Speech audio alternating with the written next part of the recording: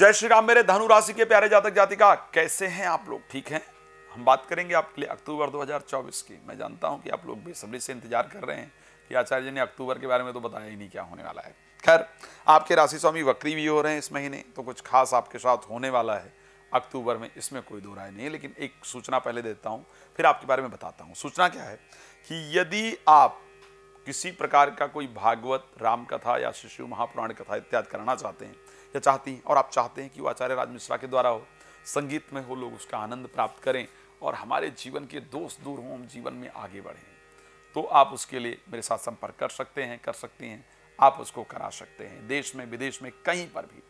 चलिए, रात को नौ बजे, दोपहर को बारह बजे लाइव आता हूँ और वो फ्री होता है आपको जानकारी देने के लिए। कॉल कनेक्ट करके और आप मेरे साथ जुड़ सकते हैं। ज़्यादा विस्तार से बात करना चाहते हैं तो कॉल अपॉइंटमेंट लेकर के आप मेरे साथ बात कर सकते हैं, कर सकती हैं। और विस्तार से चीज़ों पर चर्चा करेंगे। आपको बताते हैं कि आपके लिए अक्टूबर कैसा रहने वाला है।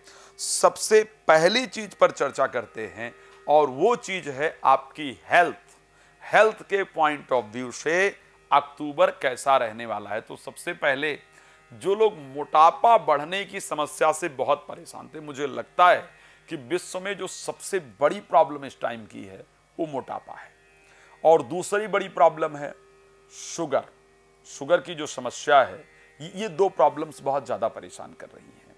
तो इस महीने धनु राशि के लिए मोटापा कम करने का जो टाइम है, वो स्टार्ट हो रहा है। बृहस्पति वक्री हो रहे हैं। नौ तारीख को वक्री होंगे। नौ तारीख से पहले गुर्दा, किडनी इत्यादि, यानी फैटी, लीवर इत्यादि की समस्या से आप पीड़ित रहे।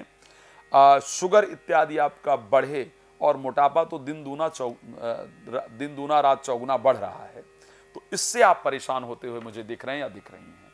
लेकिन जैसे ही नौ तारीख को बृहस्पति वक्री होंगे, और बृहस्पति वक्री होंगे तो पंचम भावस्त रहेंगे और मेष राशि में जाएँगे। मेष राशि एक अग्नि तत्व राशि है। बृहस्पति एक फैट के प्लानट हैं।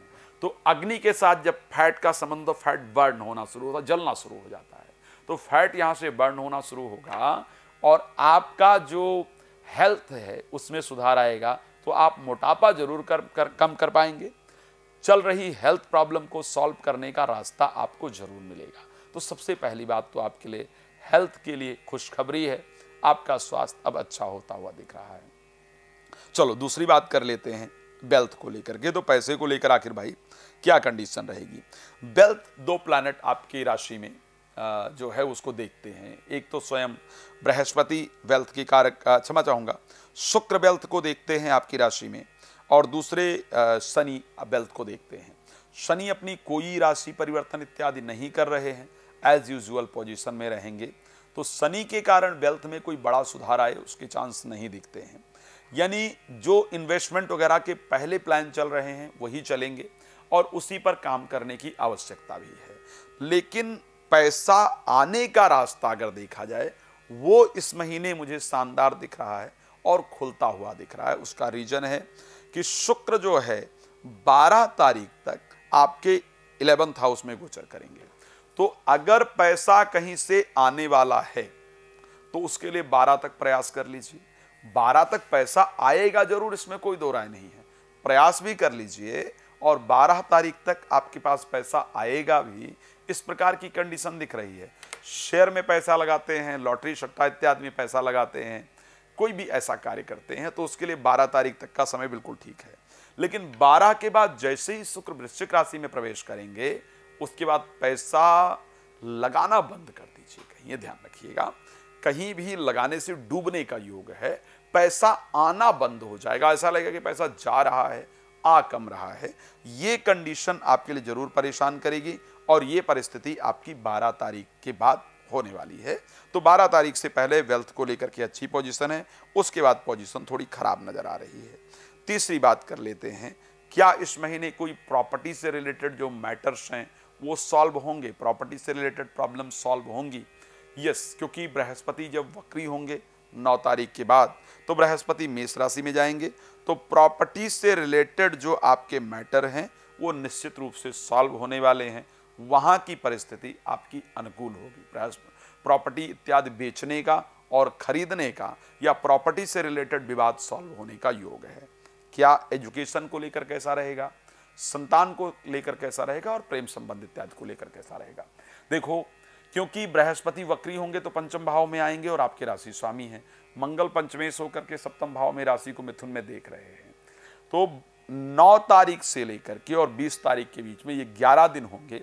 जब प्रेमी प्रेमिका से बातचीत होगी, मैरिज के लिए प्लानिंग तक बात पहुंचेगी। नए प्रेमी प्रेमिका का आपके जीवन में प्रवेश होगा या पुराने प्रेमी प्रेमिका के आने का योग है। एजुकेशन को लेकर के भी आपके लिए ये माह शानदार दिख रहा है। पढ़ाई इत्यादि में नौ तारीख के बाद आपका अच्छे से मन लगेगा। संतान को लेकर के भी नौ तारीख के बाद निश्चित रूप से खुशखबरी आपको प्राप्त होती हुई दिख रही है। संतान को लेकर के भी अच्छे रिज़ल्ट आपके नज़र आ रहे हैं। हाँ जीवन साथी के जीवन में थोड़ा क्रोध इत्यादि होगा, जिससे परेशानी रहेगी। 20 तारीख के बाद ना तो प्रेम को लेकर कंडीशन अच्छी है, ना संतान को लेकर अच्छी है। और ना ही एजुकेशन को लेकर के अच्छी है। प्रोफेशनल लाइफ के लिए ये माह आपका अच्छा दिख रहा है, बुद्ध स्वग्रही गोचर करेंगे तो प्रोफेशनल लाइफ में अच्छे रिज़ल्ट प्राप्त होंगे। खैर, आप मुझसे और बहुत विस्तार चाहते होंगे या चाहती होंगी, लेकिन क्या करूँ? समय कम है और उसी समय के अंदर सब कुछ कवरअप करना है, वो थोड़ा मुश्किल होता है। रात को नौ बजे दोपहर को बारह बजे से लिए लाइव आता हूँ, आप मेरे साथ लाइव जुड़ सकते हैं, बात कर सकते हैं फ्री में। अगर आप कॉल अपॉइंटमेंट लेकर विस्तार से बात करना चाहते हैं तो आप कॉल अपॉइंटमेंट लेकर बहुत तरीके से बात कर सकते हैं, अपनी सारी प्रॉब्लम्स को समझ सकते हैं, उसका जानकारी प्राप्त कर सकते हैं और अगर रामकथा भागवत कथा इत्यादि कराना चाहते हैं तो आप करा सकते हैं। चलिए, भगवान आपके जीवन को सुखमय रखें, इसी शुभकामना के साथ। जय श्री राम, बहुत धन्यवाद।